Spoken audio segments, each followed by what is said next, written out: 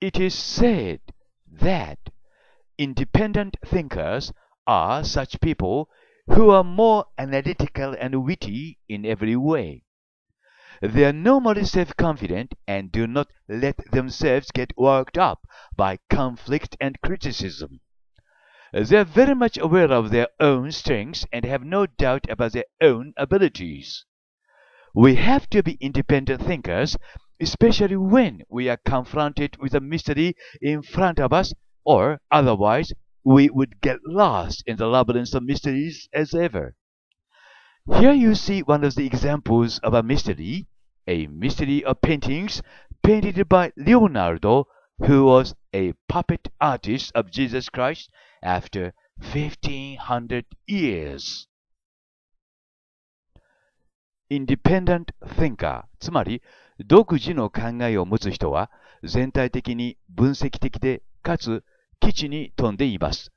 自分に自信があり他人の批判があったからといってへこたれるのことはありません。このタイプの人は自分の力をよく知っていて自分の能力を疑うということがありません。何かの謎に直面したときは特にそうです。えつまり、私たちはインディペンダント・テンカーでなければなりません。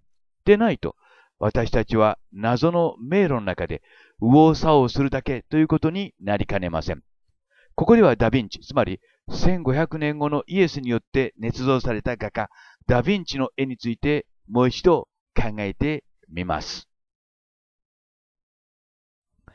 今ご覧いただいているのがダヴィンチが描いたとされる岩窟の聖母ルーブル版です。この絵で注意していただきたいのは、岩窟の穴を通して空が見え、その空には皆細かい木の葉や枝が描かれているという点です。が、そこに木があるわけではありません。どこか枯れたような木の葉だけです。そしてこの絵の上部には山が描かれていますが、その山の輪郭はあたかも水中から外の景色を見たかのようにぼんやりとしています。またその空にはさざ波のような奇妙な模様が描かれています。さざ波です。注意深くご覧ください。これらの人々は水中のカプセルの中にいると私、林博は判断しました。岩窟の聖母ではなく水中の聖母 by 林博です。では、画面を見ながら説明します。私、林博はですね、これは岩窟の聖母ではなくて、カプセルに入った水中の聖母と判断しています。その理由の第一はですね、えー、空の模様です。その空の模様がですね、水中から外を撮った写真の表現の仕方と全く同じであるという点です。まあ、それは皆さん自身が判断していただければ結構ですけども、まあ、こうした事実を見たときにですね、私たちはどのように考えるべきかということなんですね。既存の今まで500年以上もですね、語り継がれてきた説に従うか、あるいは自分で考えて自分で判断するかということになります。そこで重要なのが、インディペンダント・テンカーということになります。で、自分で考えていくということですね。そして自分で判断していくということですね。でないと、えー、先ほど見ましたように、謎の迷路の中でね、右往左往して、不思議だ、謎だ、不思議だ、謎だと、それだけを繰り返して、いつまでも先には進めないということになります。今、空の様子と水中からですね、空、外を撮った写真の様子と見比べていただいてますけども、全く同じであるということですね。すなわち、えー、この上の、と言いますか、あの、いわゆる水中のマドンナはですね、絵というのではなくて、写真技術を使って描かれた絵ということになります。すなわち、1500年後のイエスが描いた絵ということになります。もちろん、ダヴィンチはただの操り人形でした。で、もう一つの例なんですけどもね、これは、まあ、どちらかというと、マイナーなあ謎ということになりますけども、まあ、例えばですね、こうした山の景色がありますね。で、この山の景色を、まあ、写真で撮るときにですね、まず第一に水平に撮る撮り方がありますね。これは同じ高さから、ほぼ同じ高さから撮った写真ということになります。まあ、このように見えるわけですね。え今度は情報から撮る場合もあるわけですね。より高い山、あるいは飛行機から撮る場合には、このように見えるわけです。で、このように、まあ、なんて言いますか、水平線がずっと奥の方に伸びていくわけですね。もう一つは、下から見上げるようにして撮る写真もあるわけです。まあ、ここに注意してくださいね。そして一番上の写真を、絵を見ていただくとわかりますように、これは明らかに空から、あるいはより高いところから、まあ、撮った書いた絵ということになるわけですね。一応ね、絵ということになりますけども、まあ、それをですね、えー、ダヴィンチなる、まあ、操り人形はですね、えー、糸車の聖母の中にそれを表現しています。この絵を見ていただくとわかりますように、どうもおかしいんですよね。というのは、この背景の絵はですね、高い、より高いところ、もっと言えば飛行機から撮ったような景色になっているわけです。ところが、その聖母と、まあ、イエスと思われる子供はですね、垂直に立ってるわけですね。すなわち、角度が合わないわけですよね。皆さん自身で判断しかあれば、そんな難しい説明しなくともですね、まあ、絵心のある方ならみんなわかると思いますけども、これは空、あるいはより高いところから撮った描いた絵ということになるわけですね。で、そこにマドンナと子供がこういう、このように、まあ、表現されている。すなわち、チンハグなんですね。見た感じ、何かおかしいという印象を、まあ、皆さんもお持ちになると思われます。まあ、これはですね、ですから、まあ、先ほど言いましたように、カプセルの中の水中のマドンナという説をですね、えー、さらに、まあ、広げて考えていきますとですね、これは、まあ、この絵そのものがですね、空中からですね、むしろ下の方を見て、えー、角度をね、書かれたと言いますか、もっと言えば写真なんですけどね、あの、回りくどい言い方を言いまして、あの写真なんですけども、そうして、そうして写真、そうして撮られた写真をもとにして作られた絵ということになります。まあこれ、まあ、ある意味でマイナーな謎ということになりますけども、まあ、この問題についても一度決着をつけておかねばならないと思いましたので、皆さんにこのような絵を紹介しました。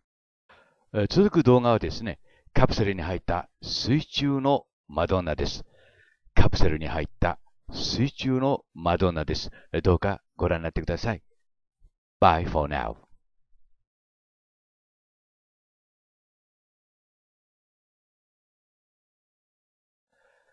John Lennon still sings this song for us. Imagine there is no heaven. It's easy if you try. No hell below us. above us only sky. Imagine all the people living for today. Imagine there's no countries. It isn't hard to do. Nothing to kill or die for. And no religion too. Imagine all the people living life in peace. You may say I'm a dreamer. But I'm not the only one. I hope someday you will join us, and the world will be as one. Imagine no possessions. I wonder if you can. No need for greed or hunger. A brotherhood of man. Imagine all the people sharing all the world. You may say I'm a dreamer, but I'm not the only one. I hope someday you will join us, and the world will live as one. 広島市浜松シティ、ジャパン。岩窟の聖母、ルーブル版です。 この中には4人の人たちが描かれています。聖母と天使と、それに2人の子供たちですね。で、この4人の人たちがどこにいるかというのは今日の謎です。というようなことを聞きますと皆さんはこうおっしゃいますよね。馬鹿言っちゃいけないよと。この4人の人は岩窟にいるんだよ。だから岩窟の聖母と言うんだよ。と。本当にそうでしょうか今日の謎解きはここから始まります。で、この白い枠に注意してください。この白い枠の中に奇妙なものが描かれています。注目をご覧ください。これが今日の第一のポイントということになります。で、明るくしてみますと、さざ波のようなものが見えてきますね。実はこれ、さざ波なんですよ。で、実際のさざ波の写真と比べてみますと、これがさざ波だということがよくわかります。すなわち、水の表面で小さな波が、まあ、な、まあ、波立っているということですよね。右上が写真です。比べてみてください。ダヴィンチはこのような形でさざ波を正確に表現しました。ですからこの水色の枠の中を見てください。えー、水の中の様子がですね、ラインが途切れていますね。ということは、これやはりさざ波だということです。なわち、このような形でダヴィンチはこの4人がですね、水の中にいるということを表現しました。で、その証拠、もう一つの証拠がこの右のところにあります。これが今日の第2のポイントということになります。十分かご覧ください。ここには花が描かれていますけども、この花はどうもおかしいですね。茎がありません。それに透明感があります。向こうの景色が透けて見えます。すなわちこれはですね、水面に浮かぶ、水面に浮かぶ花の花びらの裏側ということになるわけです。この絵の裏、上の方にですね、花があって、それが花がですね、このようにして水面に映っているということになります。ですから、花びらが皆裏返しになっています。そして、茎がありません。すなわち、4人は水の中にいます。もうもう一度、えー、詳しく検証しています。今日はここが大変重要なポイントとなります。左の上にやはり草木が描かれています。先ほど言いました赤いところが、まあ、透明感のある、えー、花ということになります。比較してみるとそれがよくわかります。ここにまあ草木がありますね。で、これを拡大してみますと、このようになっています。輪郭がはっきりして、枝、枝と言いますかね、茎もしっかりと描かれています。ところが、右の方は、その枝が、枝とか茎がありません。花びらだけです。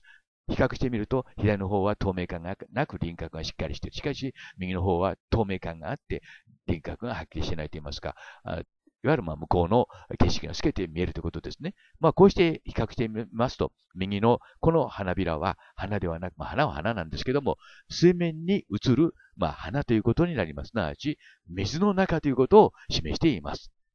ここが今日は重要ですよ。いいですか？この4人の、まあ、人たちは水の中にいるということなんですね。もう一度ここを確認してください。この、これらは水、まあ、水面に映る花ということです。by 林博士です。そしてこの花びらを見てくださいね。裏裏返しになってますね。えー、そしてこの花びらをですね、もう一度見てください。上に花のようなものがあって、そしてそれがですね、水面に、えー、映っているということです。えー、まあ、ダヴィンチはこのような形でですね、4人は水の中に、水の中にいるということを表現しました。しかも写真のように正確ですよね。もちろんこれは絵ではありませんよ。写真技術を使ってダヴィンチが描いたものものです。で、もう一度この岩窟の聖母に話を戻します。で、このマリアって言いますかね、聖母のあのローブに注意してください。このローブの線ですね。ここの、この青い線と上と下では風合いが違うと言いますかね、やや下の方がぼやけた感じがしますし、この青い線から上は、えー、まあ、ポイント、ピントが合ってるという言い方なんですけどもね、はっきりしています。で、ブルーの線を水平にしてみました。すなわち、私はこのブルーの線から下が水の中、そしてブルーの線から上が、えー、水の、まあ、外ということに、えー、と判断しました。いかがでしょうか。で、このことはですね、続く重大な事実へとつながっていきます。で、私はジョン・レノンのように夢を見続けます。この夢がこのこの謎解きを大変楽しくしてくれます。で、皆さんにこれから、えー、ダヴィンチの不思議な不思議な世界へ案内いたします。この空を見てください。空を見ますと、草花がですね、えー、空に散っているのがわかりますね。空に散っているのがわかりますね。そしてその右下も、やはり空に草花が散っているのがわかります。そして左のこの小さな部分も、やはりそこには草花が描かれて空に散っているのがわかります。空にパラパラパラパラと散っている様子ですね。で、このもう一つ左の部分ですけども、この部分もやはり空に草花が描いてあります。なぜこんな絵を描いたかということなんですよね。また、こうなるとこの4人はどこにいるかということになってくるわけです。注意深くご覧ください。これが今日の第3のポイントということになりますけど、この部分を見ますと、草花が空を待ってますね。あの、向こうの景色の手前に描かれています。あの、一番上の、あの、右、やや右のこの景色も、花、花部ですね、えー、空に散ってるんですけども、山の手前にありますね。この今、そしてこの部分がですね、さざ、にもさざ波が描かれています。もやもやもやとしていますね。なぜこんな絵を描いたか、もう言うまでもありませんね。これは透明のカプセルの中から見た景色と林博士は判断しました。十分かご覧ください。で、この透明の中にこの4人がいて、そして、まあ、その中から、まあ、外を見ていると言いますか、その中にいる様子をこうしてダヴィンチは絵に描いたということになります。それを表現するために、この4人が水の中にいますよということを、ダヴィンチはこのような形で表現したわけです。もう一度注意深くご覧くださいね。いいですか？この上の部分ですね。もやもやもやとしてますね。そこで今度は、えー、実際に水の中から外を見た景色と比較しています。上を拡大しています。そうして部分的に表比較してみますと、全く同じであるということに皆さんもお気づきになると思います。すなわち、上の景色はですね、えー、カプセルのようなものの中から、水の中にあるカプセルですよ。から外を見た景色ということになります。そしてその向こうには山がある。ですから山の輪郭を見てください。もやもやもやとしてますね。これは水の中から外を見たということを表していると林博士は判断しました。なわち、この4人の人は岩窟にいるのではなくて透明カプセルの中にいるということになります。この4人の人は岩窟ではなくて透明カプセルの中にいるということになります。しかもその透明カプセルは水の中にあるということになります。楽しいですね。となると、この向かって右側にあるこの物体は何かということになるわけですね。手前にもやもやしてますから、その透明カプセルの向こうにあるわけです。なわちこれがダヴィンチの描いた水中都市ということになります。そこへこの4人の人たちがですね、透明カプセルに乗って行って、そして透明カプセルの中から外を見たということになります。この黄色い部分が何かしら窓のように見えるのも、まあ、これは私の夢かもしれません。そしてこの窓には何かしら人影のようなものも見えます。これも私の夢かもしれません。私はジョン・レノンが言うように夢見る人です。またその夢見るがゆえに、こうした謎解きもさらに楽しくなるのではないでしょうか。皆さん、岩窟の聖母ではないんですよ。透明カプセルの中の聖母ということになります。Bye for now.